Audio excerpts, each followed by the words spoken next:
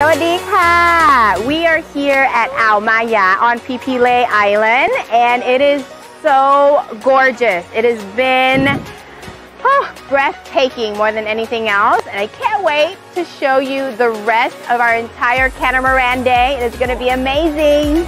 Pile Bay is what it's called and um, this is where we can go snorkel. I mean you're literally in the middle of the ocean so there's going to be amazing wildlife and beautiful, clean water and beaches. And a lot of longboats. เรือหางยาว So excited?